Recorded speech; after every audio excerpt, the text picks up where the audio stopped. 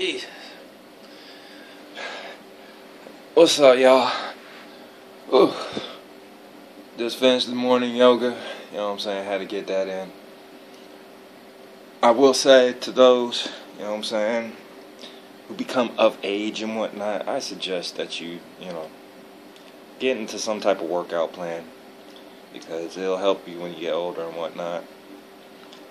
Ain't as young as it used to be. Hmm. But anyway, welcome to another Wise Tale. So what's on the plate today? Hmm? Well, check this out. As I said, I've been around the world twice now. And this particular story that I'm getting ready to tell y'all is about when I was down in Australia, Sydney, Australia. At the particular time, um, Oper- excuse me, Operation Iraqi Freedom just has started. Now, this particular story actually takes place right after my unit had left. And it was myself and it was my brother Reason. We were taking a, a boat ride back to the States. And we stopped off in Sydney, Australia. First off, I'm going to say this I love Sydney. I love Australia. I love Australians. Australian people are some of the most cool, laid back people I've ever met in my entire life. I mean, I'm keeping it real when I say this. I mean, they're seriously that cool, that chill, that real. Um, to anybody who states the fact that um, people in different countries don't like Americans, I'm just going to put forth to everyone like this. The reason for that is because not every American treats people with respect. So if you're in another country and you can't show the people their respect, of course, they're not going to like Americans. But when you've had a rambunctious amount of Americans that do nothing but disrespectful things and treat, you know, the people of a different country as if they're in America when they're not in America, that's where the hostility comes into play. But anyway, there was one. So um, me and uh, Reason, we're up in Australia, right? We come off the boat and we run into this girl. This girl was looking for this sailor and whatnot that was on one of the boats that was in the formation that headed out there with us. And we were like, well, you know, we ain't got nothing going on. Myself at the time I was married, Reason at the time he was married. And we were sitting there, you know, being good Samaritans and whatnot, saying, well, you know, we don't know this guy and whatnot, but, you know, you can hang with us, see if we run into him. And at the same time, you know, you can be our little tour guide. And she's worked as a tour guide before, so I was like, cool, you know, that helps us out. Cause I ain't I know Adam's Eve about Australia. The only thing I remember about Australia, you know, that was significant, you know, other than um, koala bears and, and, and kangaroos and the opera house, you know, those were only three things I really knew about Australia. So I mean, to walk around Australia and whatnot was pretty cool. Um, when it comes to the dancing experience, um, one of the nights that we spent in Australia, we uh, she took us to a club named One World Sport. Excuse me, One World Sport. It's probably shut down because it's been many, many, many years since I've been out there. But you know what? I can't wait to go back, and I am going back one day. so whatever. So at you know at the time, I want to say this was around the time where C-walking was highly popular in the States. And for those who have, you know, that problem with certain uh, dance styles being gang related, tied, and whatever, whatnot, y'all full of crap. It's a freaking dance style. You cannot control the dance world. I don't care what group, what gang, y'all need a bad back. Seriously. So, with that being said, you know, I was out in One World Sport, me and Reason were we're on the dance floor and we start C-walking, right? And you know, we're getting into it, whatever, whatnot. It was actually pretty cool. You know, a lot of people, you know, were gathering around us and whatnot. So, you know, we looking like superstars. So we doing a couple routines, you know, getting it all in. Well, um, the the girl that we were with, you know, she she grabs Reason and she wanted to talk to him for a second about something. I don't know what particular it was, but next thing I know, I got like five different Australian guys coming out of nowhere. And I'm sitting here like, am I going to battle these guys? What am I about to do with these guys? These guys literally wanted me to teach them how to C-walk. So I'm almost conducting dance class in the middle of a club on the dance floor. Maybe two of these guys are drunk.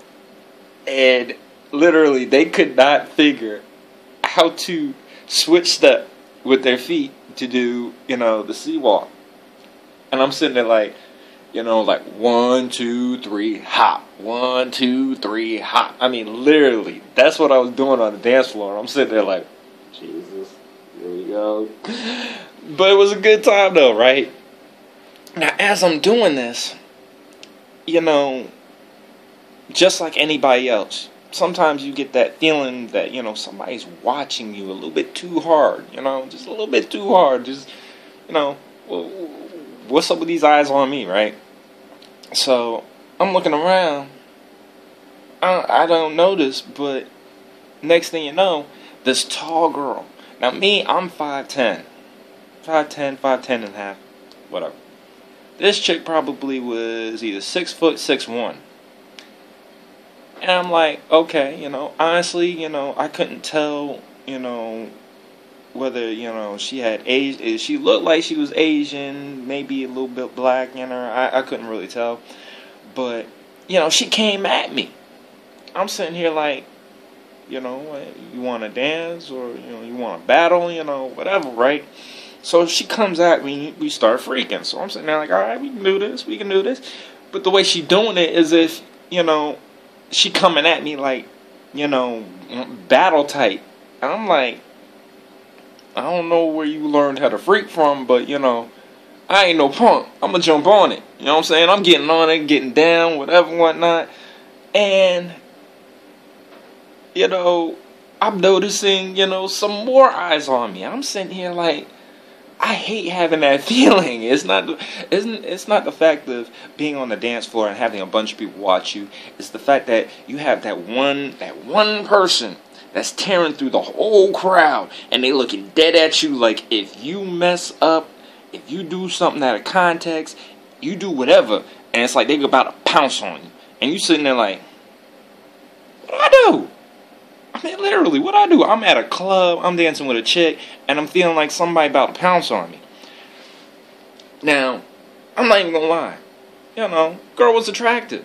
But you know, at the time, as I said, I was married. So I'm sitting there like, hey, I'm just to give you a dance and be done with it. Didn't even realize I'd been dancing with this girl for like eight tracks and whatnot. I'm like, okay, you know, no big deal. Next thing you know, she just, you know, she walks away and whatnot. I'm sitting there like, okay, you know, got to dance with attractive female, you know, cool, you know, ha- have me a good night. And then for some odd reason, when I'm about to walk off the dance floor, right, I stop. I turn. This chick walked over to this white boy that was sitting right next to the uh, dance floor and whatnot. Australian white boy, you, don't know what I'm trying to say. You know, no offense. Um, and start kissing on him and whatever, whatnot. Now from there, I'm thinking, okay, that was your boyfriend. You know, okay, you know, I have no harsh feelings. I'm not trying to press her, you know, get your number, nothing. But she trying to do everything she can do to make sure he don't get up. I'm sitting here like, he's that jealous? And that was one of the questions that I ended up asking, you know, our little tour guide. I was like, so why do a lot of Australian females pine after American guys? And she was flat out and straight up with it when she said, she was like, a good portion of Australian guys are too serious. And I was like, "Can you give me an example?" She was like, "Well, let's let's take a holiday like Valentine's Day, right? Which is coming up. Um, Valentine's Day, you know, let's say that you know, our a typical Australian guy, you know, he may get a card, maybe a flower, say, you know, Happy Valentine's Day, and that's it. Sometimes not even a card or flower. American guys, you know, is typical because of, you know, our social bring upbringing and whatnot that, you know, is, you know, a card, candy, you know, make a female feel appreciative. So, because I was giving her a dance on the level that she wanted, he was feeling offended because he felt as if I was trying to push up on his girl.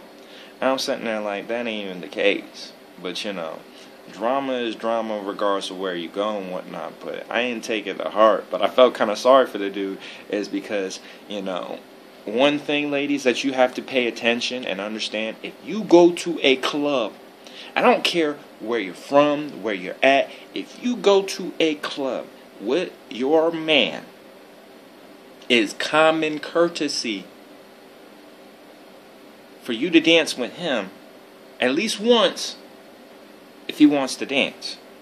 It's actually a disrespect to you as a female if your man don't dance with you. So I don't care if it's reverse scenario, whatever, whatnot. If you are in a relationship and you take, you know, your significant other to a club, one dance, you got to give them one dance. If you don't give them one dance, I don't care who you are. That is straight disrespectful. And it, it's not it's not to say that hey, you know, freaking they can't handle it or whatever whatnot. It's just the fact that hey, you know, if you really care about somebody, if you really in a relationship and whatnot, then you should know that that person wants to spend time with you. And sometimes being in a club setting, being at a particular point where you're able to express yourself and be on the dance floor and being in the midst, in midst with that person and whatnot, it's a respect, you know it's disrespectful, you know, if a guy, you know, dances with a gang of girls and whatnot, not dance with his girl, but, you know, like I said, at least one dance. Now, if you have that understanding between you, that's what's up. If you don't, you may and you may need to switch, switch females, switch dudes, do what you need to. But, you know what I'm saying? But that's, you know what I'm saying? That was the first story, you know, of one of my Australian experiences and whatnot. But you know, it is what it is. Like I said, I can't wait to go back. It was a lot of fun. But y'all take care, man. See y'all next time. One.